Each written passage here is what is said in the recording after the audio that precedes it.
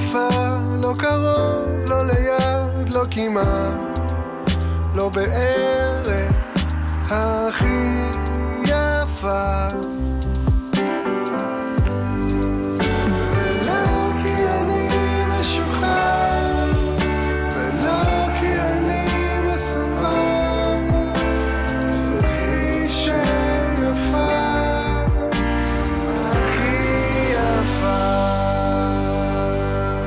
ווינר בכדורסל, החל מיום ראשון, בערוץ הספורט.